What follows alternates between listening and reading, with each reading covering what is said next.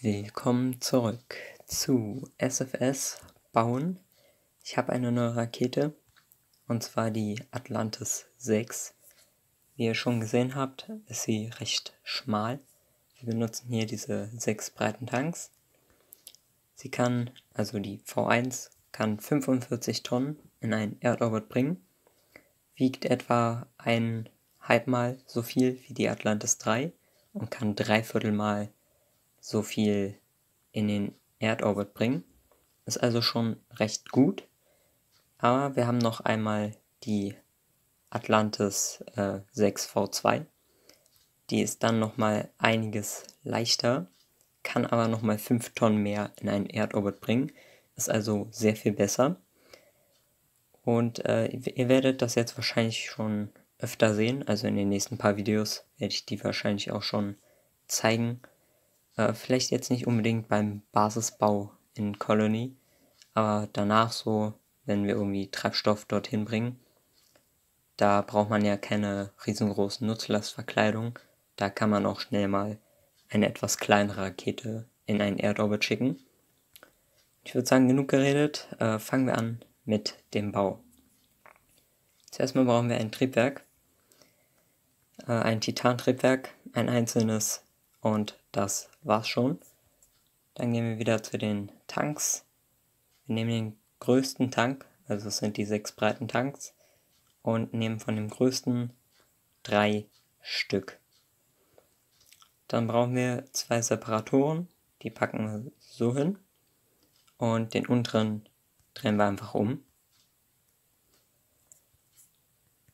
Dann nehmen wir uns eine Sonde, packen hier rein, äh, machen hier unten Symmetriemodus an und nehmen ein kleines Landebein.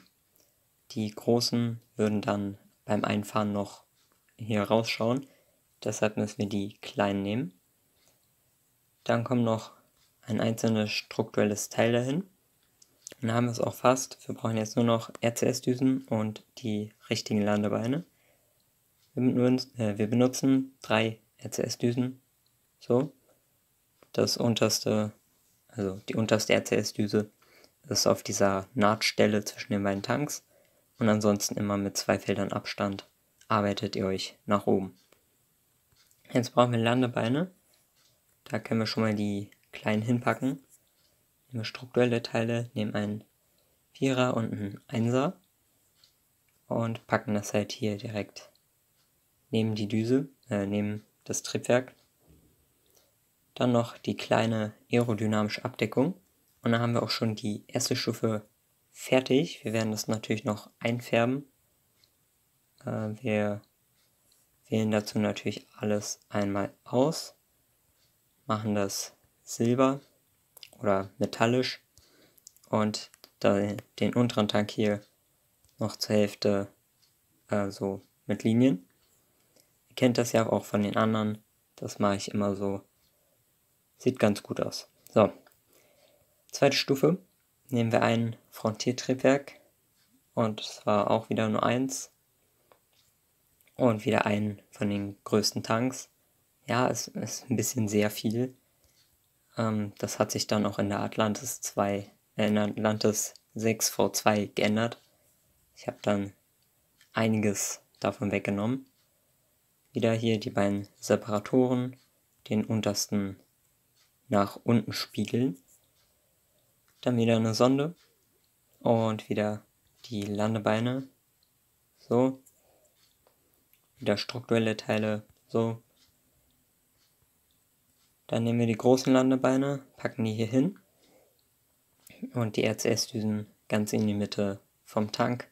Das seht ihr ja, da hört zur Hälfte diese, hören diese Linien auf. Dann ist es auf jeden Fall in Ordnung. So, machen wir es auch noch Silber. Und dann packen wir noch die Nutzlastverkleidung drauf. Die könnte man natürlich auch erweitern, aber ich mache jetzt einfach die einfache 6er breit. Gut, da haben wir es. Ähm, schauen wir uns das einfach mal an. Einfach mal anschauen. Oh ja, ich habe die Nutzlastverkleidung vergessen. Natürlich. Das ist natürlich nicht so hübsch. Machen wir auch noch schnell Silber. Und da haben wir es. Fahren wir auch mal ein. Und hier haben wir die Atlantis 6 V1. Da sind wir auch wieder im Editor.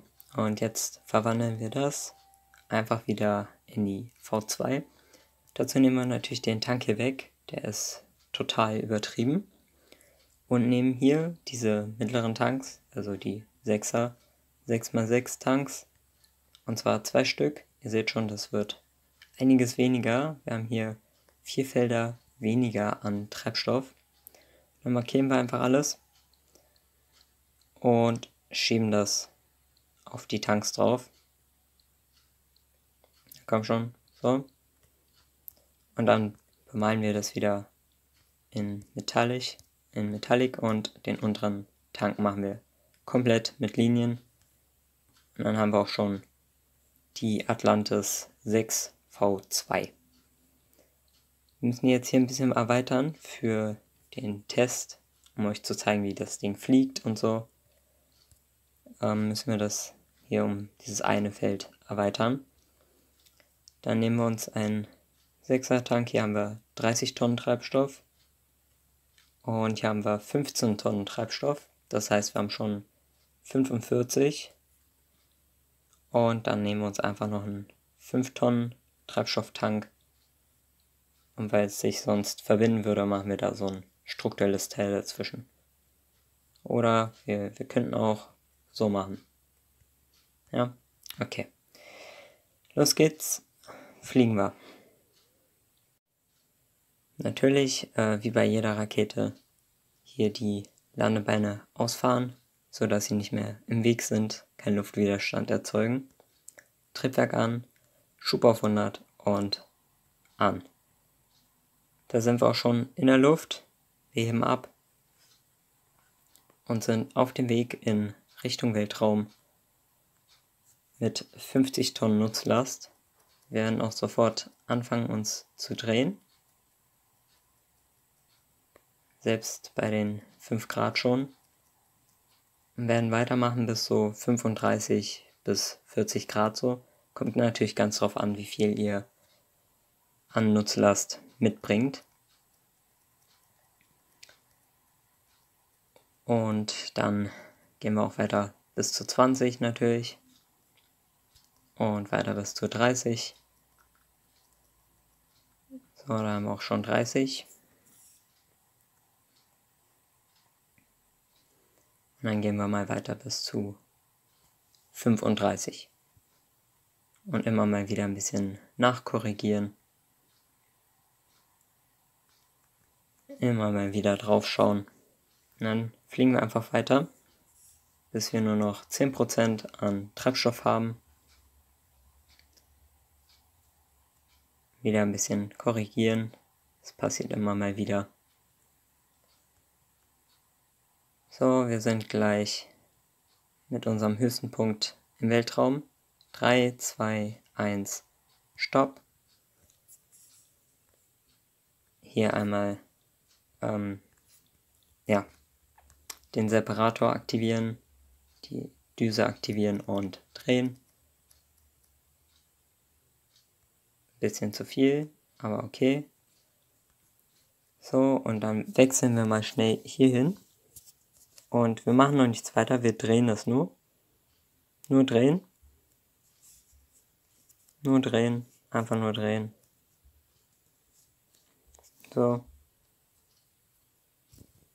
und dann die Landebeine ausfahren. Wir werden eh noch bis zum höchsten Punkt warten. Der ist auch natürlich gleich erreicht, aber trotzdem werden wir einfach warten. Hier können wir die Nutzlastverkleidung entfernen. Und dann haben wir auch schon fast 1 Kilometer pro Sekunde an Geschwindigkeit. Jetzt wechseln wir zurück und geben hier Gas gegen die Flugrichtung, bis wir nur noch 5% haben. Na komm schon. So.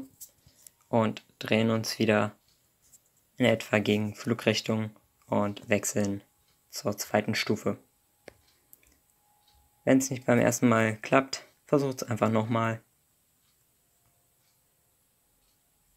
Ansonsten weiß ich nicht, was ihr machen könnt. Ja, also ich habe es auch schon mehrmals versucht. Ich habe auch ein paar Mal gefailt. Jetzt gerade nicht, aber davor schon beim Entwickeln und so weiter. Muss man sich erst an alles einmal gewöhnen.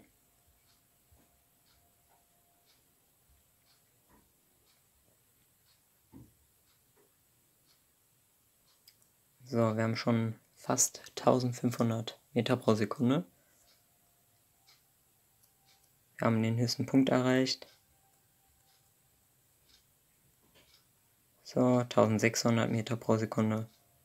Und jetzt haben wir den Erdorbit. Schnell zurückwechseln. Wir sind nämlich schon in recht tiefer Atmosphäre. Und wir müssen rechtzeitig langsamer werden. Schub machen wir etwa so auf 20, 15 bis 20, je nachdem wie früh ihr äh, dran seid. Und wir sind immer noch recht schnell, aber keine Sorge, das klappt schon. Bei 1 Kilometer Düse zünden, RCS-Düsen an und Landebeine raus. Schub rausnehmen ein bisschen. Bisschen mehr Schub wieder. Und dann perfekt. Sehr schön. Wir haben es geschafft. Haben es gelandet. Fast 2% Treibstoff. Sehr schön. Und hier wird es natürlich ein bisschen schwieriger. Aber wir werden das erstmal abmachen. Die Landebeine ausfahren. RCS-Düsen an. und einmal umdrehen. Ganz kurz Schub geben bis knapp unter 1600 Meter.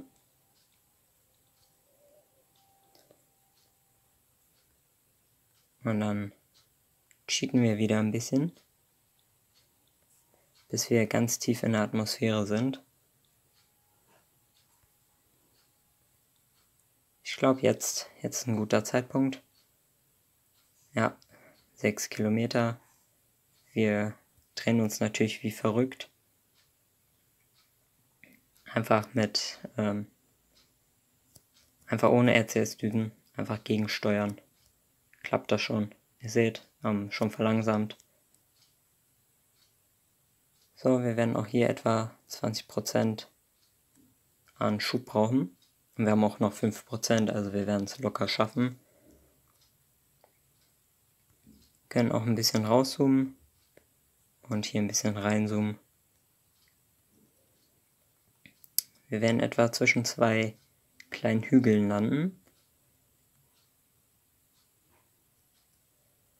So, auch noch wieder warten bis ein Kilometer und zünden. Landebeine raus. Und dann schön rauszoomen. Ja, wir können sogar ein bisschen weniger Schub nehmen. So, das sollte auf jeden Fall klappen. Wieder ein bisschen mehr Schub. Und hier haben wir es auch geschafft. Mit 1,2%. Bisschen weniger, aber trotzdem sehr gut. Und hier haben wir die 50 Tonnen in Orbit gebracht. Da haben wir die, äh, hier haben wir die erste Stufe. Nein, das war die zweite. Hier haben wir die erste Stufe. Und da haben wir die zweite Stufe. Es war ein voller Erfolg. Und Leute, ich hoffe, es hat euch gefallen. Wenn ihr mehr wollt, lasst ein Like da und ein Abo, um nichts mehr zu verpassen. Wir sehen uns dann im nächsten Video wieder. Tschüss.